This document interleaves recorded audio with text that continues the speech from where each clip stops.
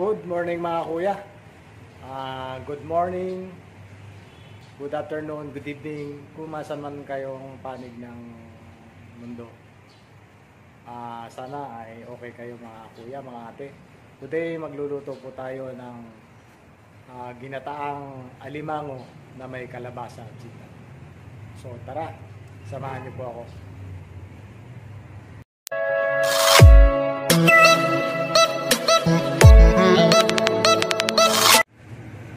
ng ating pong mga sangkap, meron po tayong luya, bawang, konting bawang, sibuyas, then kalabasa, meron tayong sili, sitaw, meron din po tayong lemongrass o tanlad, of course, ang gata, yan, fresh gata, meron din po tayong patis, yan, fresh gata, yan, fresh na fresh yan. So ang ating pong alimango, ah, so pinatulog ko na po sila sa yelo. Yan. Para pag ah, biniyak natin, hindi matanggal yung kanilang mga kamay. Kasipit, sa kasipit yan. Ayan, ating alimango, mga kuya, babae. Yan. Babae. Yan, babae. Yun, oh. Ayan po yung ating lulutuin. So tara, mga kuya, mga ate, samahan niyo po ako. So ito mga kuya, ah, ang gagawin natin, hati natin siya sa gitna. Para pag niluto natin, yung katas ng kanyang taba, umalo dun sa sabaw ng ating lulutuin. So tara mga kuya, mga ate, hugasan natin siya at linisan.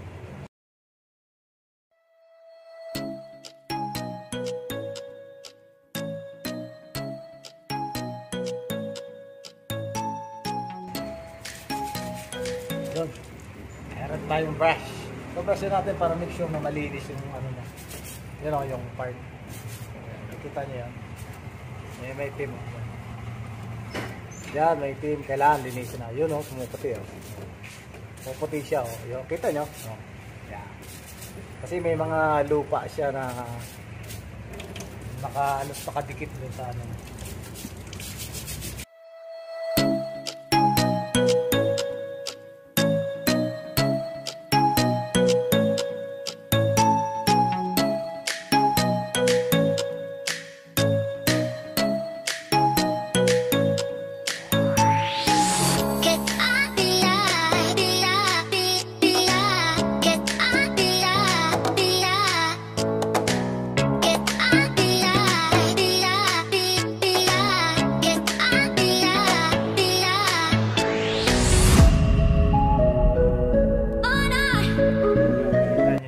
Madumi yan. May team.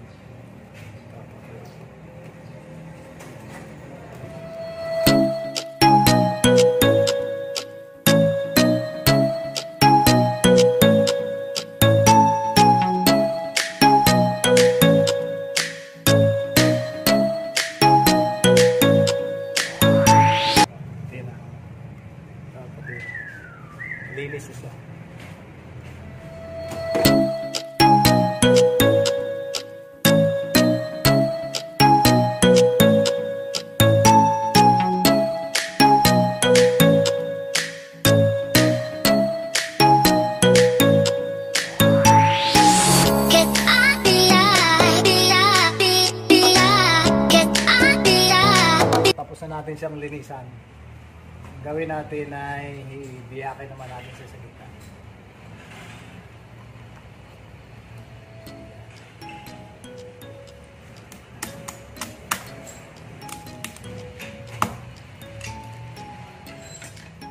Yun.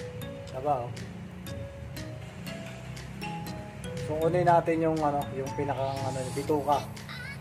Ayan, bituka. May bituka yan dito.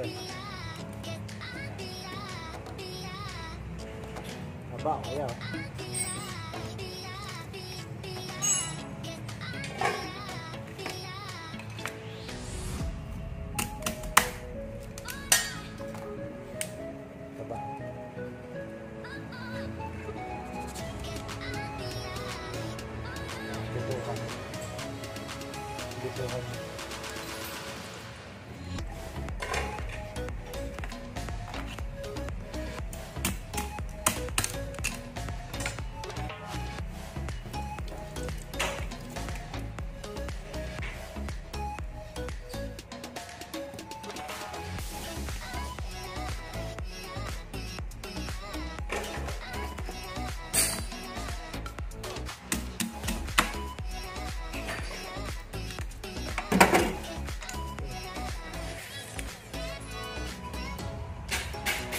Ayan, ligi.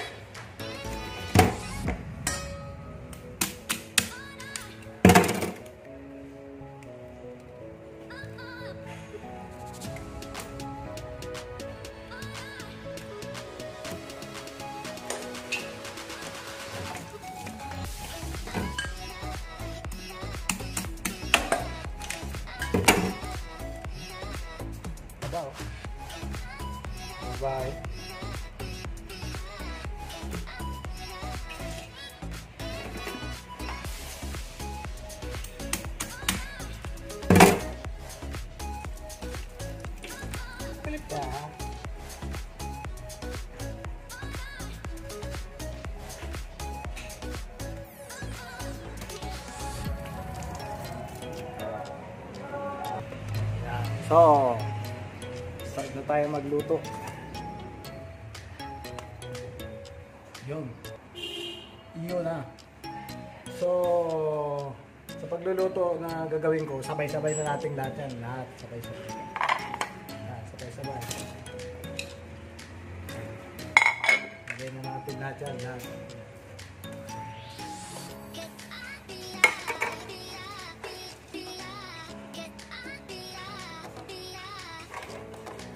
Ilalim natin yung lemon grass. Ayan, lagay na natin din yung pati.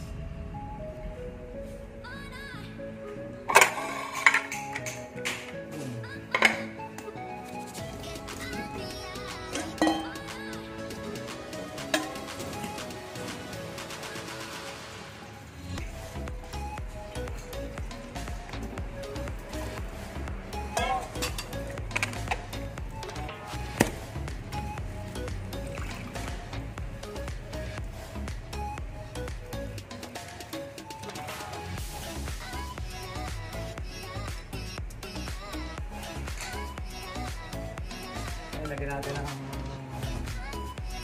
paminta.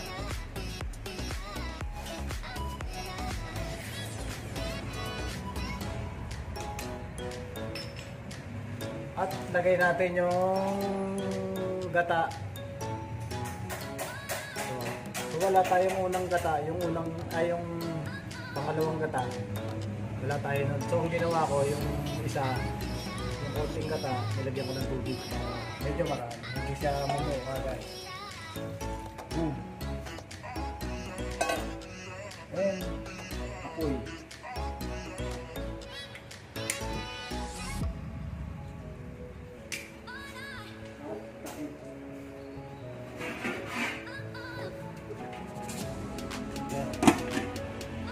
Takpan natin. After 5 minutes, tingnan natin kung ano na. Yun. Pagkalipas ng 5 minuto, tingnan natin ano na ang lagay ng ating! Wow! So makikita natin kulay kulay orange na yung ano, malimango natin. Pero may sabaw pa siya. Hintayin natin matuyo ng konti para ilalagay natin yung yung huling gata natin para mas ma- lapot yung sabaw niya. Then, wait ulit tayo ng 2 minutes. After 2 minutes, tingnan ulit natin. Yun. Ah, tuyo na siya. So, kailangan haluin natin. Yun, haluin natin. Ah, kuya. Yun, tuyo na.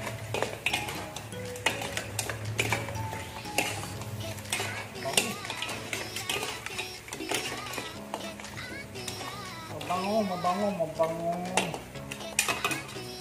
Ngayon, lalagay natin yung ating final na gata. Yung tuling purong gata, kakang gata.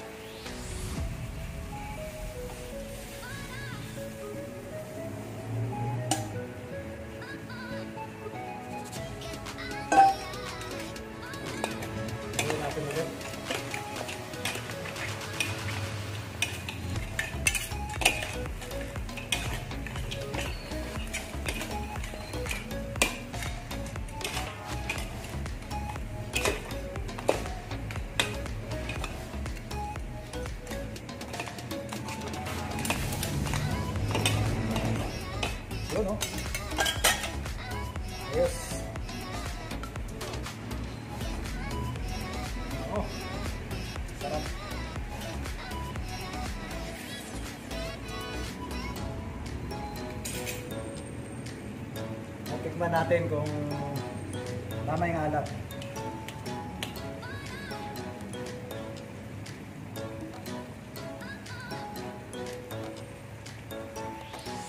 Okay lang.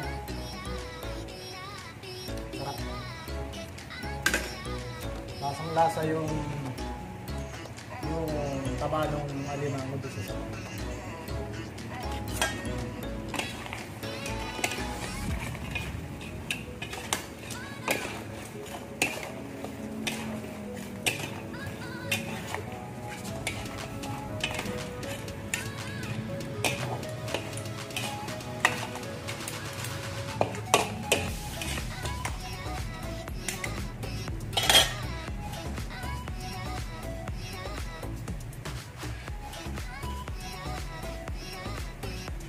Hintay lang natin na lang maluto yung, ano, yung final na gata natin. Then saka natin sa angoy. Okay na siya luto.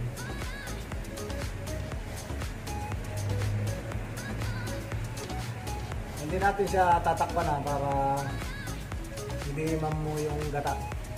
Yung nilagay natin. Lagay lang natin para hindi lumipid. Manikas yung gata.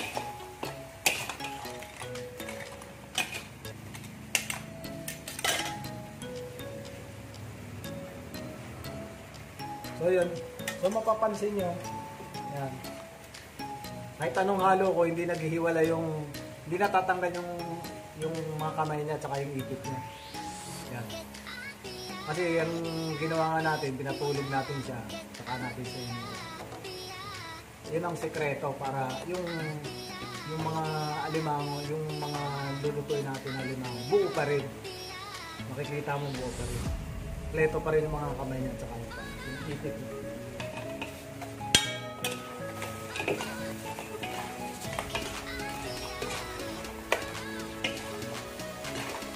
Yun, yun na, okay na. Papahin na natin ang apoy. Ganun lang po kadali magluto ng ginatang alimango na may kalabasa. So yun mga kuya, maraming salamat po sa pag, uh, pagsubaybay nyo sa aking uh, vlog ngayon. Maraming salamat po sa lahat ng sumusuporta. Sa lahat ng aking mga subscribers, maraming salamat po sa inyo. At sa kung di ka pa nakasubscribe, subscribe ka na please. At uh, share mo, like mo yung aking mga videos. Maraming salamat mga kuya sa inyong panonood. Sana po ay ingat po tayo palagi. Hindi po kakalimutan magdasal, magpasalamat. At ingat po tayo palagi mga kuya. Salamat po. Bye-bye. you.